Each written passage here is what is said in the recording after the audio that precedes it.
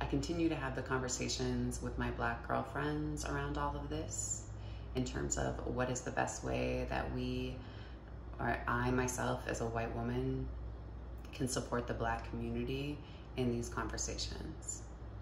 And the response that I continue to get is you need to go and talk to your white folks about this, right?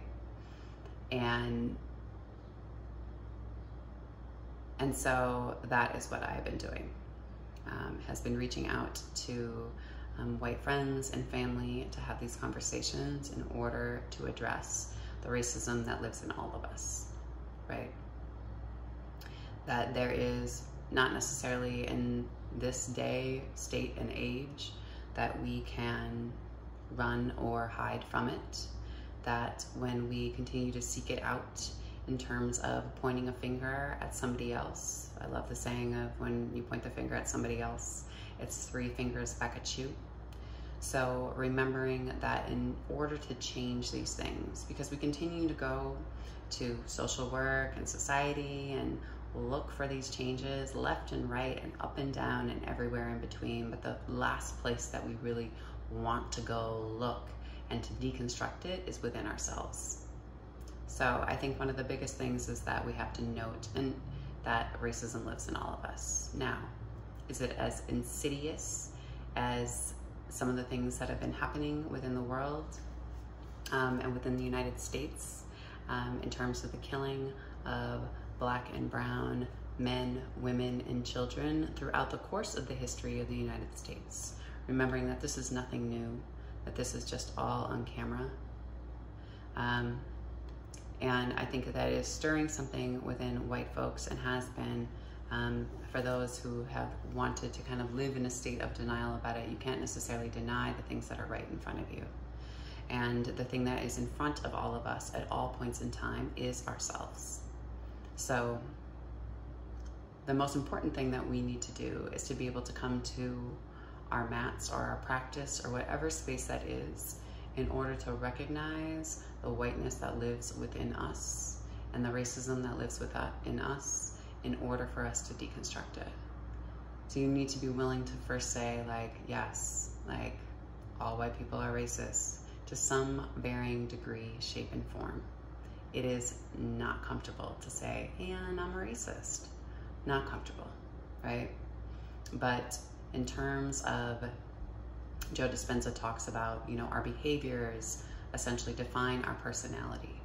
So when we start to be able to see that sentiment and the seeds that were planted in us when we were very young, growing up in this white supremacist society, then we can slowly start to pull these things up by their root to hold them up to the light and to the sun for them to dry out and for them to die and for them to go away. This is why we're told not to talk about these things at the dinner table because the way that white supremacy and society has been built is knowing that as soon as we start talking, right, is when some of these things will slowly start to be deconstructed. But wanting folks to recognize and realize that this is intention driven action. That in order to release racism from yourself, it's like being an addict, right? It's like you have to first admit that you are an addict.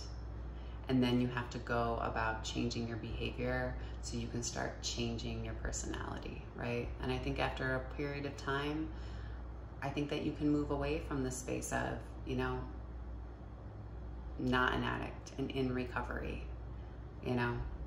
And I think my goal and hope would that be would be within my lifetime. Within my lifetime, would I be able to say that racism is no longer within me?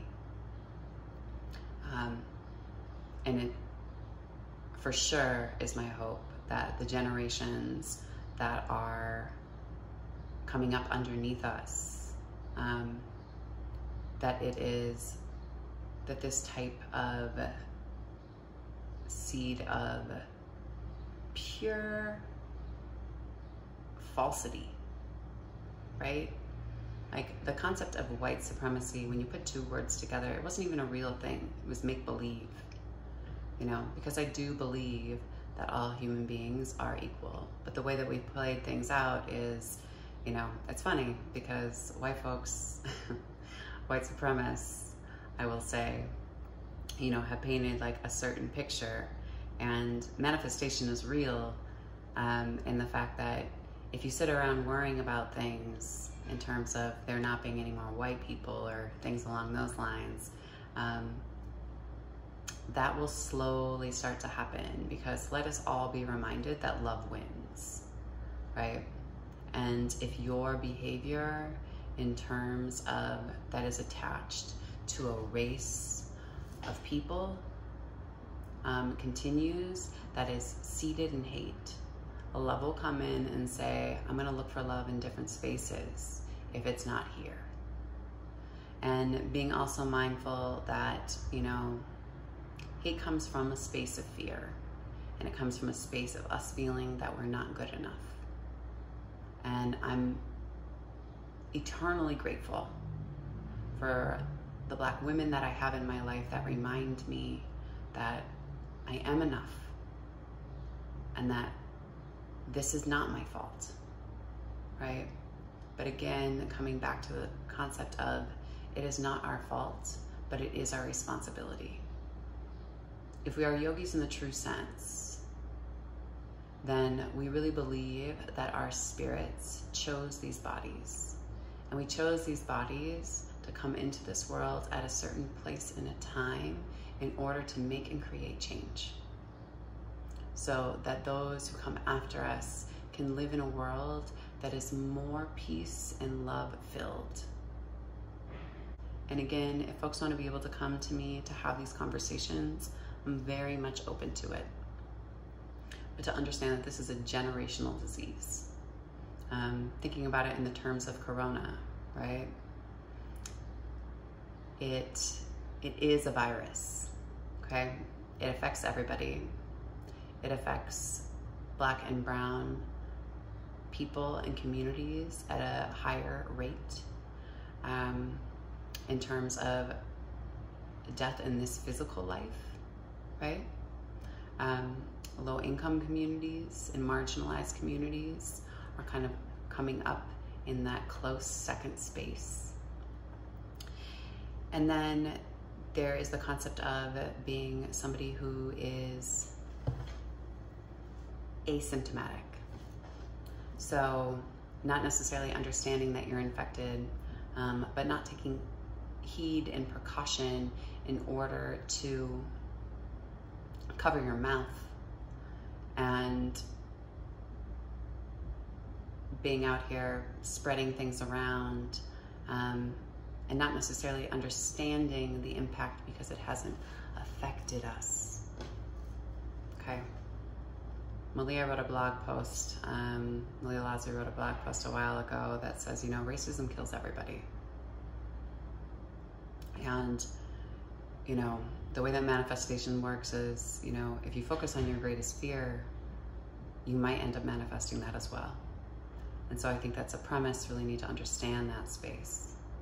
You know, there's a space where we can really embrace love for ourselves, first and foremost, and not from a space of vanity or from the space of needing to be right and white, but from a space of true self-love, understanding that we are enough, and then looking to, as we work on ourselves, being able to work to provide access and give care and support to our families and friends in times like these when folks need it most.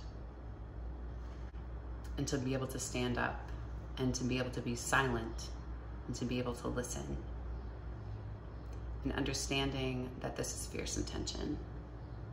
So I'm asking all of you during these times and moving forward to look at yourself in the mirror every day or to incorporate it into your practice both on and off the mat to say, I recognize this within myself.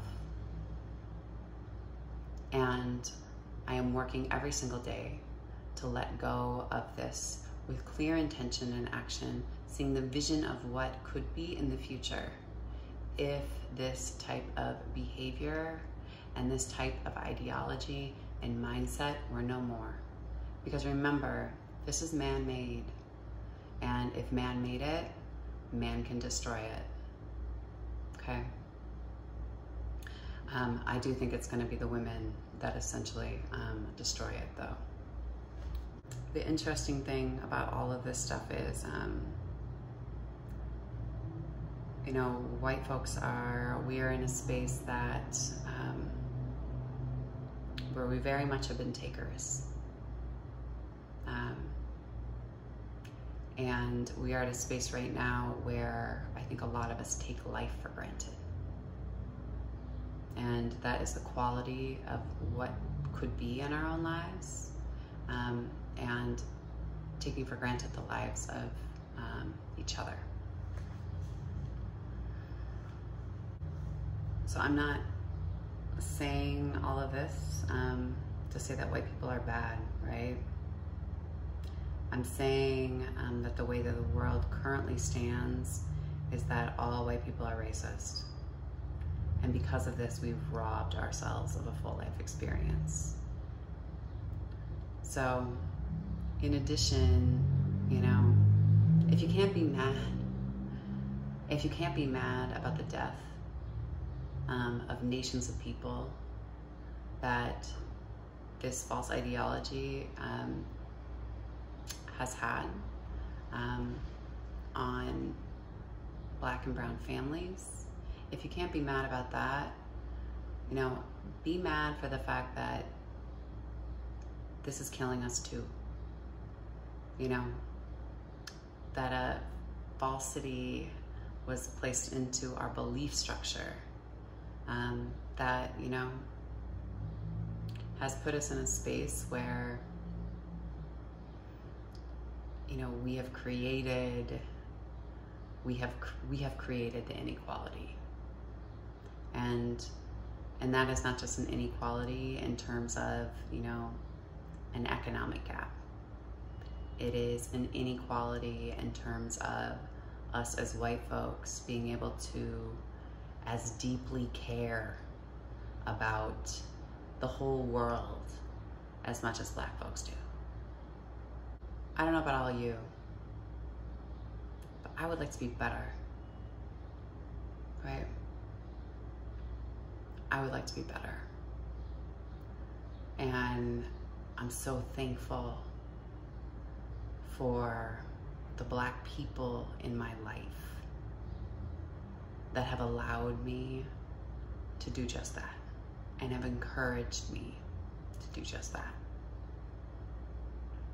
And my hope is that everyone would have that experience in terms of being able to feel that opportunity to do better and to be better in our lives. Not in terms of, you know, the measurement of success, but in terms of the capacity of our hearts. So I want to thank everybody for taking the time to listen. Um, again, if anyone wants to talk with me about any of this, I'm more than willing and open to talk with folks. You know, these conversations are not comfortable. But as I always say in yoga classes, on the other side of discomfort, we don't go and lean into sharp and shooting pain. Right? So if you're not ready, you're not ready. But on the other side of discomfort is change. And so we need to challenge ourselves. We are our greatest competitor in this space. You know, the bodies that we have now are a compilation of the ancestors that came before us, right? And they've been conditioned to live in this space and time. We must set the intention because without intention, things do not move and they do not change. And without taking the light and shining it into the dark spaces in ourselves, the ugly things that we do not want to look at, we will never call it out. I do believe that love wins, and I do believe that we will all get through this together. We just need to be open to the conversation. Thanks, y'all.